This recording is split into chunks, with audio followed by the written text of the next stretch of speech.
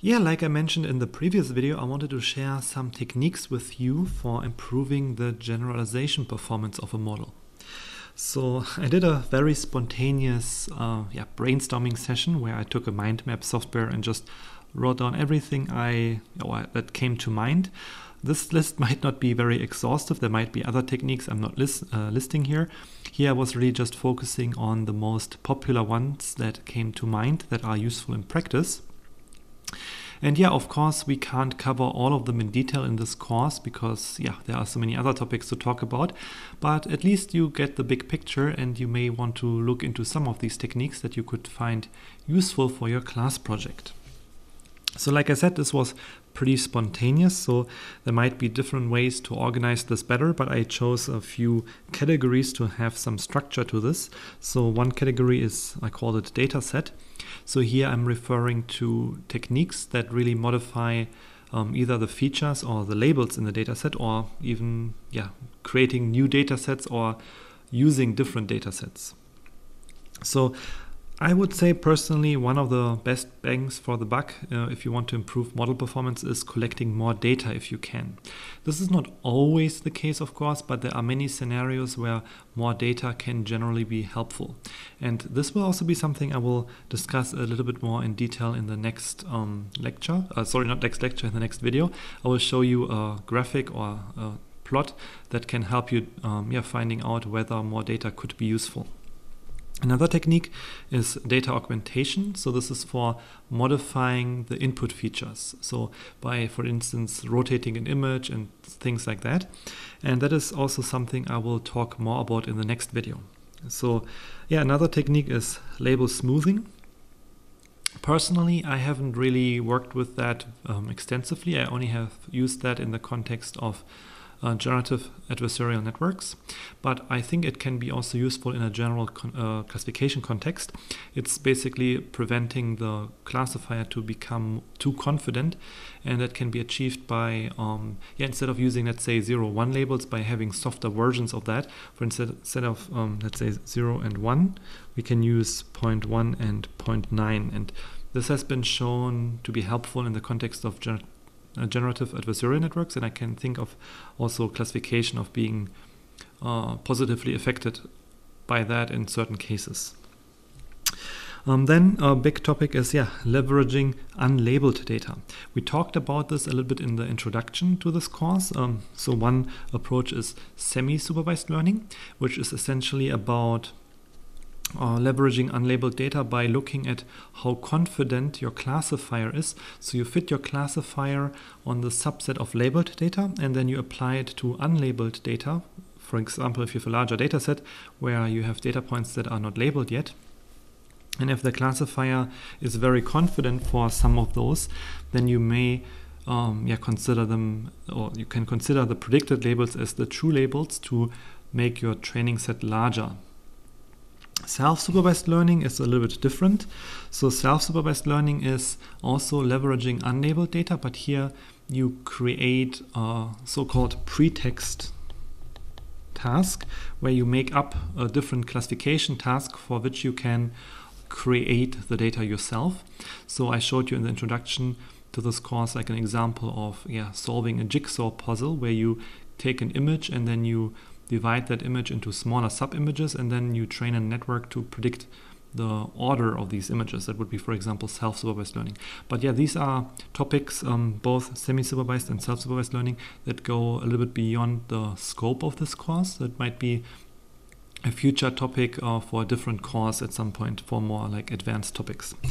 Um, yeah, so also related to what I just said, there is also a set of techniques for leveraging related data. So self-supervised learning is really like leveraging unlabeled data. Um, it could be from the same domain or the same data set that you're working with for which you have labels. So let's say you have a data set for which you have labels, but you can design this pretext task on the same data set. So here you may also consider a related different data sets. So, for instance, uh, one technique is called meta learning, where you essentially learn how to learn, like from different data sets, um, let's say multiple small data sets. This is actually very common in the context of few shot learning. Um, and another, this is a little bit unfortunate, another definition of meta learning is also really uh, learning from metadata. That is another thing. So you have multiple data sets, you can create metadata and then train a classifier on that metadata.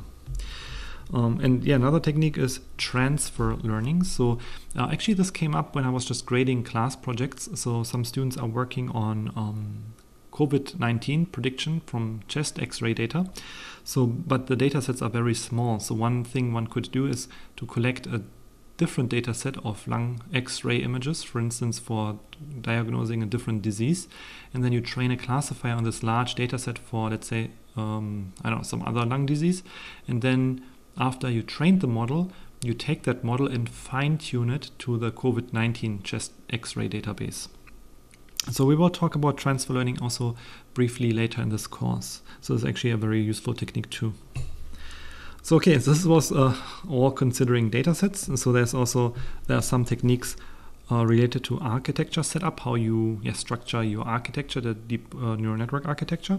So there will be weight initialization strategies. We will discuss that in this course. So I don't want to talk too much about it at this point yeah, choosing activation functions.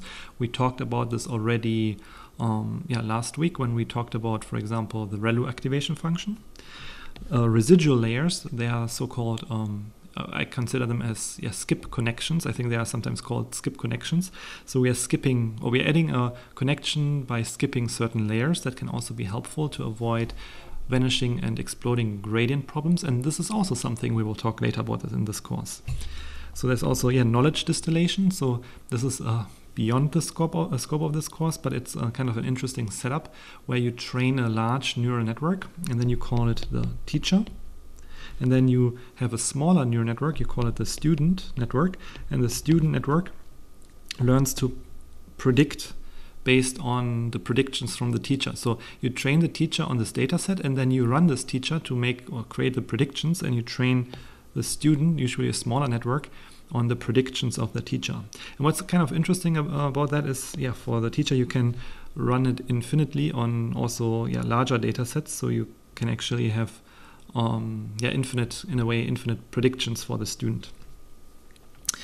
Anyways, um, yeah, another set of techniques concerns normalization. We talked already about input standardization. I will mention it again in the next video when I show you the data augmentation.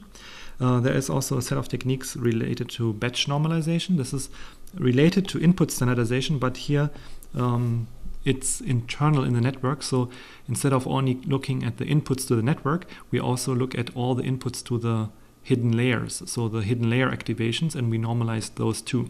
There are also um, have flavors of that called group norm and instance norm and layer norm, and also those are a topic for a future lecture in this course. Yeah, weight standardization There's also there are also techniques for standardizing weights. It's kind of related to the weight initialization um, topic, but there are also yeah additional topics for that, and also gradient centralization. So gradient centralization is similar to input standardization, except that you normalize the gradients so that they have zero mean and uh, unit variance. So um, yeah, and next there are techniques for yeah I would say modifying the training loop, so the for loop over the epochs and the mini batches. Um, so what we can do there in terms of the optimizer and things like that. I should have maybe added something like different optimizers here because there are also optimizers that go beyond adaptive learning rates. Um, we will talk about this also in more detail in later lectures. So, for example, there are adaptive learning rates which are super helpful. Um, there are also auxiliary auxiliary losses. So we can add additional loss functions in intermediate layers and then also modify the training intermediately um, we can modify the network training by having these yeah, um, additional loss functions. So one common thing that comes to mind right now would be the inception network. We will talk about that in the convolutional network section where we have multiple loss functions that we combine from different places in the network and that helps um, yeah, also training the network. So just briefly, if you have a network like that, usually you have the output here, and then you have a loss function, and uh, you have the label. So you have the true label. So you have your input image. The X goes into the network. Oops.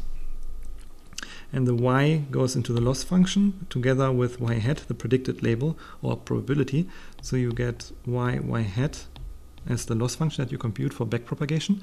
But um, yeah, what you can also do is you can also have an intermediate value here, uh, intermediate um, prediction from the intermediate layer, and also add that to the loss function. That is essentially how um, inception works and with that you can make sure that if you have a very big, big long network that also the intermediate um, layers are trained well so Zhongjie and I we also worked on a method related to this topic called uh, looking back looking back to earlier layers um, for yeah designing better loss functions um, yeah then there's also gradient clipping so avoiding like very large gradients um, so if they go too large, you, we can clip them by uh, giving them, uh, giving it a maximum value. So that is also sometimes helpful to yeah, avoid exploding gradient problems. And now the last set of techniques. Uh, I just put them also here because those are the ones that we are going to cover in this particular lecture here, in addition to these topics.